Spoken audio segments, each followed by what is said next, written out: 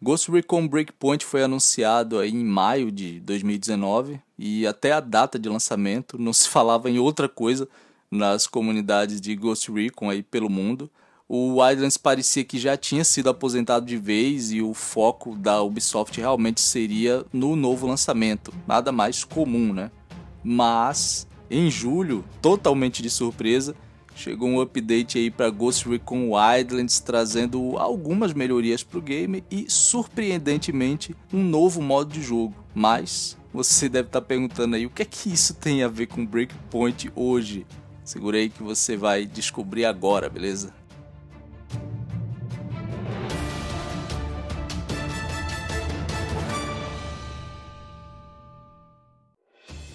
Ok.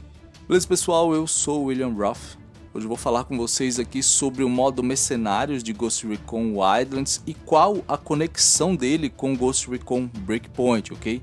Mas antes, não esquece, deixa o like aí para ajudar na relevância do vídeo. Aproveita e compartilha seus grupos aí onde tem seus brothers e tal, no WhatsApp, no Facebook, onde você preferir. E deixa também um comentário aí embaixo para poder a gente desenvolver melhor o assunto, ok? É sempre interessante essa conversa. Caso seja novo por aqui, claro, se inscreve aí ativa o sininho para não perder os próximos vídeos, beleza? Recado dado, vamos que vamos. Então, pessoal, como eu já disse, em julho de 2019, a única coisa que se falava em relação a Ghost Recon era sobre o Breakpoint, né? Claro.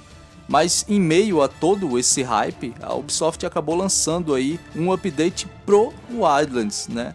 Uma atualização grande, inclusive, que trouxe o modo Mercenários, né? Que foi uma grande surpresa para todo mundo, até para quem estava ligado em todas as novidades a respeito do game, como produtores de conteúdo, né? Como eu, no caso. Eu também fui pego totalmente de surpresa. Para quem não lembra ou não teve a oportunidade de jogar ainda, o modo Mercenários era uma espécie de Battle Royale aí com oito jogadores, mas também tinham NPCs no mapa. Era tipo que esses modos PVPVE, né? Onde juntam players e NPCs no mapa, como a Dark Zone do The Division, por exemplo, um modo bem interessante, diga-se de passagem.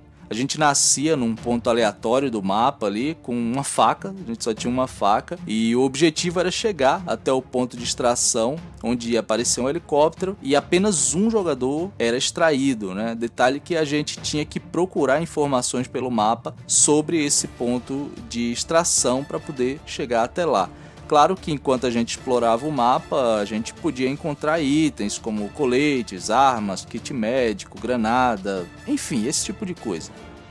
Era um modo bem divertido porque aproveitava toda aquela geografia extravagante do mapa do Wildlands ali de uma forma bem útil, aliás. Infelizmente eram poucos players por sessão, apenas oito no caso, mas os NPCs eles meio que compensavam isso, né? E acabavam meio que preenchendo o mapa que também não era ali muito grande.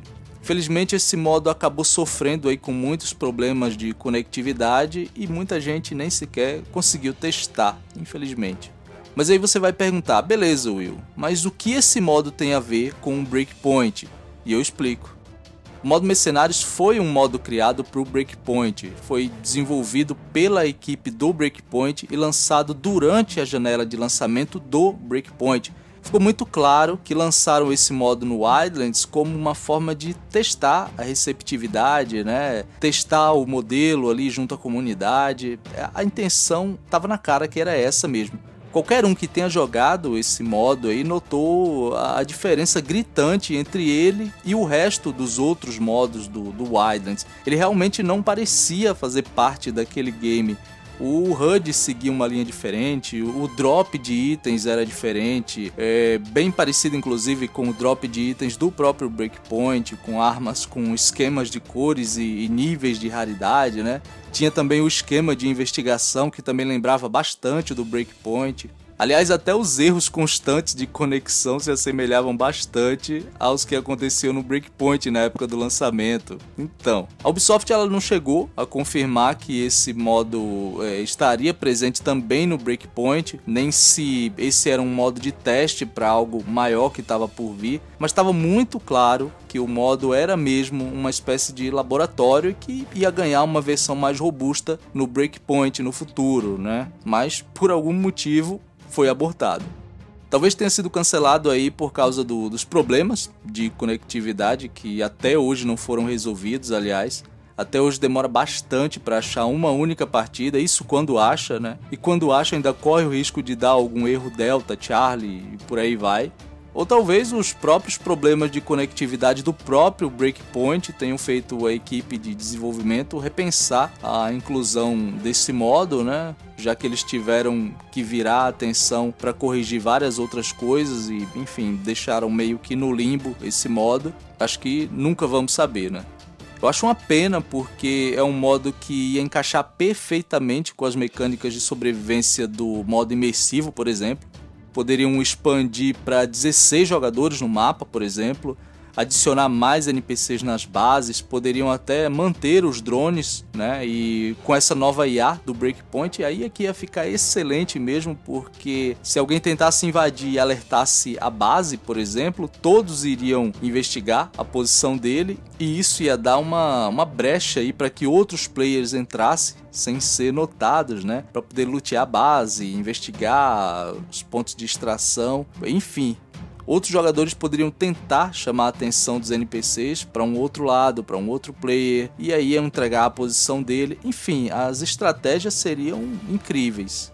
Realmente eu estava bem animado com a possibilidade desse modo vir para o Breakpoint, né? Mas como até hoje ninguém se pronunciou a respeito, eu acho que ele não vem mais. Mas como a gente ainda tem alguns updates pela frente, vai que um deles aparece assim, meio que de surpresa, como ele apareceu no Wildlands, aliás. Agora em junho, quer dizer, na verdade em julho, começam aí os updates que vão encerrar o ano 1 do Breakpoint, né? Muita coisa tá chegando e a maior parte delas a gente nem sabe porque nem foi divulgado ainda. Portanto, pode ser que algumas surpresas realmente surjam e vamos aguardar, né? Também não sabemos se haverá um ano 2 do Breakpoint, já que as vendas não foram lá muito boas, como a gente sabe. Os bugs de lançamento deixou muita gente com uma péssima impressão em relação ao game, e a verdade é que dificilmente essas pessoas que já tiveram uma ideia formada sobre o jogo voltem a dar uma segunda chance, né? A gente sabe como é que funciona. Então, a menos que as vendas melhorem consideravelmente por causa desse último update aí do ano 1, dificilmente vai existir um ano 2. Uma pena, mas isso só o futuro vai dizer, né?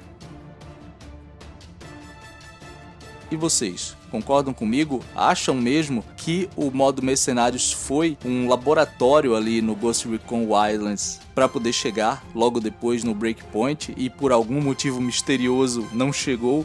Acham que ele realmente deveria estar no Breakpoint? Enfim, deixem os seus comentários aí, vamos discutir a respeito, beleza? A gameplay que você viu ao fundo aqui é desse vídeo, e caso você não tenha visto, eu recomendo que veja, porque ficou muito bom, ok? Se quiserem ajudar o canal ainda mais e ganhar recompensas exclusivas por isso, então torne-se membro, você vai estar ajudando bastante o canal a continuar produzindo e ainda vai ganhar vários benefícios por aqui, como por exemplo fazer parte do nosso grupo exclusivo de membros. Eu sou bem mais ativo por lá, estou sempre lá dando dicas, conversando com o pessoal e tal. Caso você queira ter um contato um pouco mais próximo comigo, pode ser uma excelente opção, ok? Clica aqui embaixo no botão seja membro e faça parte aí da nossa família, beleza? Valeu, falou e até a próxima.